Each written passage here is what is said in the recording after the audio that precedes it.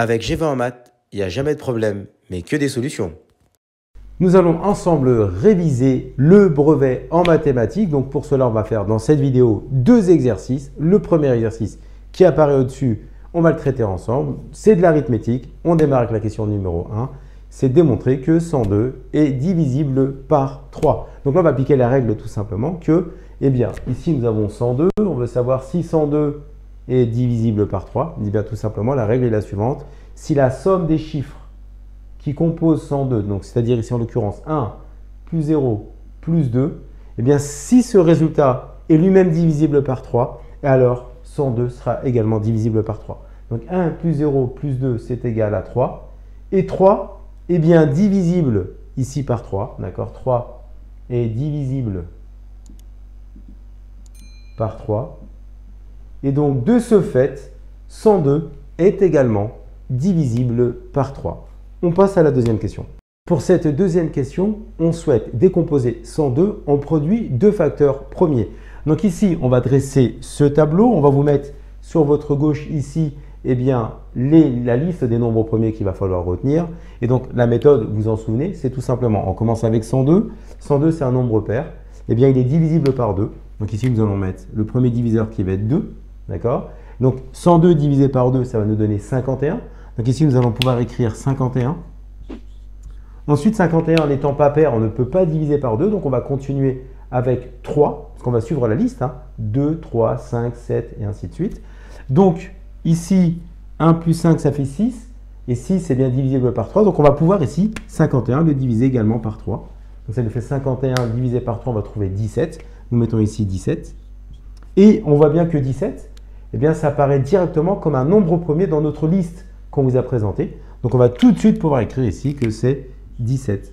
Et donc, tout simplement, on va pouvoir dire que 102 eh bien, se décompose en produit de facteurs premiers eh bien, avec 2 fois 3 fois 17. Et donc, ça, c'était la question 2. On passe à la question 3.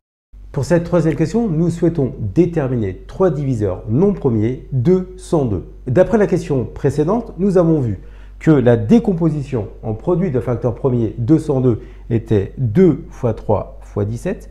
Eh bien, on va pouvoir utiliser ces diviseurs pour construire les diviseurs non premiers de 102. Donc la méthode est toute simple. Eh bien, on va prendre par exemple 3 fois 2. D'accord, ici. 3 fois 2, c'est égal à 6. 6 n'est pas premier et 6 c'est bien un diviseur 202. Si on continue avec la même méthode, si on fait 17 fois 2, eh bien 17 fois 2, ça va nous donner 34. 34 n'est pas premier et 34 est bien un diviseur 202. Et enfin, si on fait 17 fois 3, 17 fois 3, ça va nous donner 51. 51 n'est pas un nombre premier et 51 est bien un diviseur de 102. Donc là, nous avons répondu à la question 3. On passe maintenant à la question 4. Pour la question 4, tout simplement, un libraire dispose d'une feuille cartonnée de 85 cm sur 102 cm. Il souhaite découper dans celle-ci en utilisant toute la feuille des étiquettes carrées. La question c'est les étiquettes peuvent-elles avoir 34 cm de côté? Donc pour y répondre, eh bien tout simplement, si toute la feuille est utilisée, eh bien c'est que la longueur et la largeur sont des multiples des côtés du carré. Et ici, le carré, eh bien, ça va être 34. Or, 34 cm. Or, ces côtés ont donc une longueur qui divise à la fois 102 et 84. Eh bien, 34, c'était la longueur d'un côté du carré. Or, 34 ne divise pas 85 parce qu'on a vu à la question numéro 2, c'était donné que 85 se décomposait en 5 fois 17. Donc, 34 ne divise pas 85. Et donc, dans cette situation-là, eh bien, les étiquettes ne peuvent pas faire 34 cm de côté tout simplement parce qu'on répète, si toute la feuille est utilisée, c'est que la longueur et la largeur sont des multiples des côtés du carré. Donc ces côtés ont donc une longueur qui va diviser à la fois 102 et ici 85. Et donc si la longueur, eh bien ici c'est 34, eh bien il faut que 34 soit à la fois eh bien, divise 102 et divise 85, ce qui n'est pas le cas ici, parce que 34 ne divise pas 85. Donc ça, c'était la question numéro 4. On passe à la dernière question de cet exercice. Pour cette dernière question, le libraire découpe des étiquettes sous format carré de côté 17 cm. Et la question, c'est combien d'étiquettes on va pouvoir obtenir sur une telle feuille. On rappelle que d'après la question précédente, il était impératif que la longueur bien, du, du, côté du carré eh soit divisible par à la fois 85 et à la fois 102. Or ici, on veut construire des étiquettes qui font 17 cm de côté. Eh bien, on vérifie que 85 c'est 5 fois 17 d'après la question 2, ce qui nous permet de dire que 17 divise bien 85. Et on a 102 qui s'écrit 2 fois 3 fois 17, donc 17 divise bien ici 102. Donc, les, des étiquettes de 17 cm de côté, ça va pouvoir fonctionner. Maintenant, on va déterminer le nombre. Eh bien, ça signifie, vous avez une feuille de 85 cm, 102, en, 102 pardon, cm en longueur et 85 cm en largeur. Eh bien, il va falloir, sur la longueur, avoir, on peut placer 6 étiquettes, parce que 6 x 17, ça donne 102. Donc, on va pouvoir passer sur la longueur 6 étiquettes. Et sur la largeur, eh bien, on a 5 x 17, c'est-à-dire que sur la largeur, on va pouvoir placer 5 étiquettes. Donc, en longueur, vous en placez 6. En largeur, vous en placez 5. Eh bien, si vous faites 6 x 5, vous obtenez, eh bien, ici, 30 étiquettes. On va pouvoir placer sur la feuille, eh bien, 30 étiquettes de 17 cm de côté. Donc ça, c'était l'exercice numéro 1 qui reprenait un peu des notions d'arithmétique. On passe à l'exercice numéro 2. Deuxième exercice de cette vidéo, nous allons travailler ici plusieurs notions, Thalès, Pythagore, la trigonométrie et les notions de vitesse. On démarre ensemble sur la question numéro 1. Cette première question, on souhaite déterminer la longueur DE. Vous avez ici le dessin qui est représenté sur votre gauche. Et donc ici, on va pouvoir appliquer tout simplement le théorème de Thalès. Tout simplement pourquoi? Parce que si on remarque ici la figure, eh bien les droites AB et DE sont bien parallèles. De plus, les points ACE et les points BD, BCD sont alignés dans cet ordre. Et donc là, ce sont les conditions nécessaires pour pouvoir appliquer le théorème de Thalès. Et donc d'après le théorème de Thalès, on a eh bien, CE sur CA qui va être égal à CD sur CB qui va être égal à ED sur AB. Ensuite, on va passer par l'application numérique. Et donc tout simplement, on va garder les mesures que nous connaissons. Donc ce qui va nous donner eh bien, CD sur CB, ça va nous faire 700 sur 500 égale DE sur 400. Et il nous reste à faire maintenant le produit en croix pour déterminer la longueur DE. ED et DE, ce sont les mêmes longueurs. Hein. Donc D, on fait le produit en croix. Donc 700 fois 400 divisé par 700 par 500.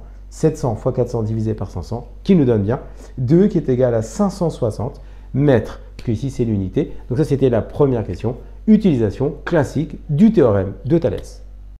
Pour cette deuxième question, on souhaite montrer que le triangle ABC est rectangle. lorsque nous avons notre figure sous les yeux, on observe que nous avons la mesure des trois côtés de ce triangle. Donc, ça nous rappelle qu'il va falloir utiliser ici la réciproque du théorème de Pythagore. Donc, comment on va procéder? Eh bien, dans un premier temps, soit ABC un triangle, et dans ce triangle, la longueur du plus grand côté, c'est la mesure BC. Donc, on va commencer par calculer d'une part eh bien, BC au carré, donc BC au carré, c'est 500 au carré, donc ce qui nous donne 25 000. Ensuite, on va calculer d'autre part eh bien, la somme des carrés des deux autres côtés, donc AB au carré plus AC au carré. Donc ça fait 400 au carré plus ici 300 au carré. Donc respectivement, ça nous fait eh bien, 16 000 plus 9 000 qui va donner 25 000. Or, on remarque que BC au carré est égal à AB au carré plus AC au carré. Et donc, ça permet ici de pouvoir dire que d'après la réciproque du théorème de Pythagore, eh bien, le triangle ABC est rectangle ici en A. Maintenant, on passe à la troisième question. Pour cette troisième question, on souhaite déterminer la mesure de l'angle B. Donc en fait, tout simplement, donc plus précisément l'angle ABC, ce que j'ai fait, eh bien j'ai reproduit eh sur la figure, sur le tableau, eh bien, un triangle rectangle en A pour visualiser plus facilement par rapport à la figure proposée initialement. Donc on a un triangle rectangle en A, vu à la question précédente. Donc on a indiqué ici l'ensemble des mesures. Et donc on connaît toutes les mesures, on cherche un angle. Et donc là, il faut penser automatiquement à la trigonométrie. Or, ici, dans cette situation, comme on connaît tous les côtés, eh bien on peut à la fois utiliser soit le cosinus, soit le sinus, soit tangente. Nous avons décidé ici d'utiliser le sinus, mais on aurait pu avoir le même raisonnement avec cosinus et tangente.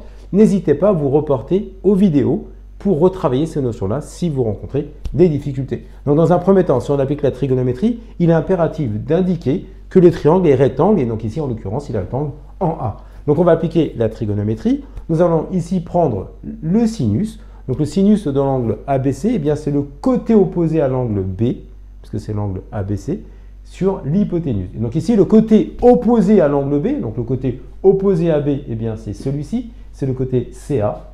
Et l'hypoténuse, eh bien c'est ici, bien entendu, CB. Donc il ne nous reste plus qu'à remplacer les valeurs algébriques des expressions. Donc CA, ça fait 300 et CB, ça fait 500. Donc on a mis les valeurs numériques. Donc on simplifie, ça fait 3 sur 5. Et là maintenant, il nous suffit d'utiliser la calculatrice pour nous permettre de déterminer la mesure de l'angle. Or ici, attention, vous allez trouver à peu près 36,8, mais on veut un angle arrondi à l'entier près, et donc c'est 37 degrés.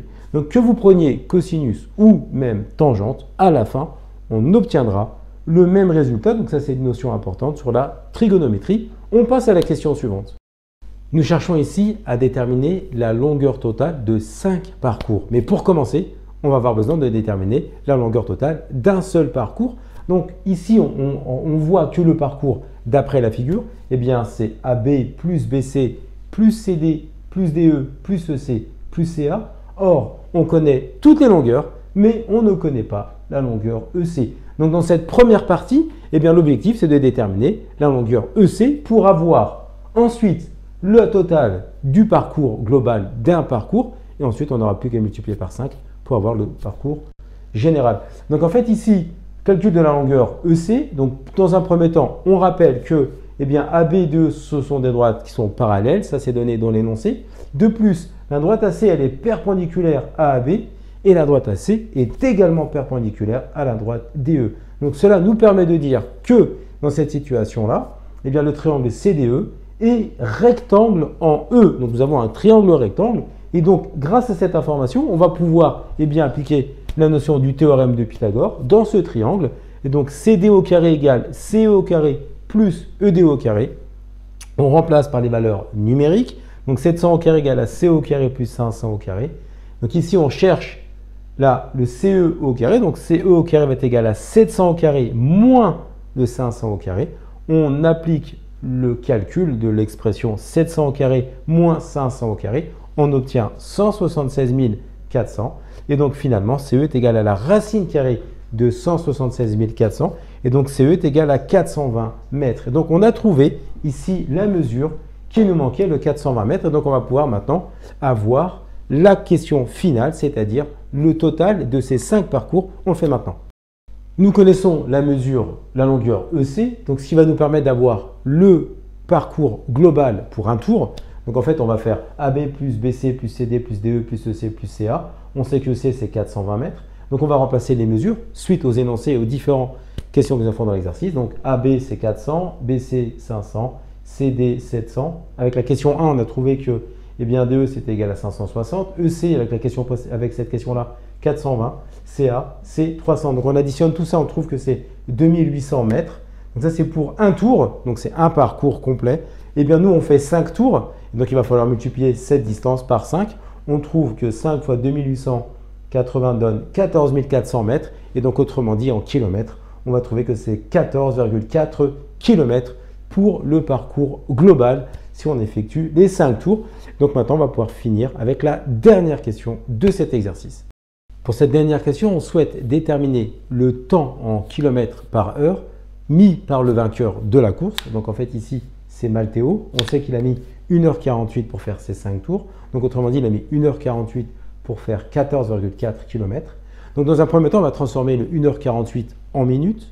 Donc 1h48 qui est 1h48 et en minutes. Donc c'est 60 minutes pour 1h et 48 minutes.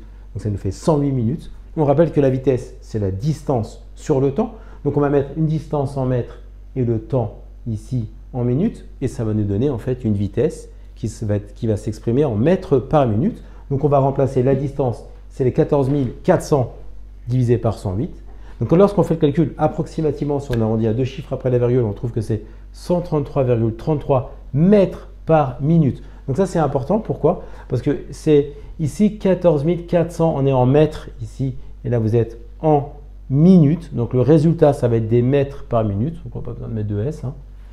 Et donc ici On va avoir besoin de donner l'information plutôt en kilomètres heure. Donc on va commencer par donner l'information en mètres par heure. Donc là, comme on avait des mètres par minute, pour passer de cette étape à cette étape, il nous suffit de multiplier par 60 pour passer eh bien, des minutes en heure, parce qu'il y a 60 minutes dans une heure. Donc on fait x 100, x 60. Donc le résultat va se donner 7999,8 mètres par heure. Mais tout simplement le 7999,8 mètres, eh bien on peut le traduire en 8 km à peu près.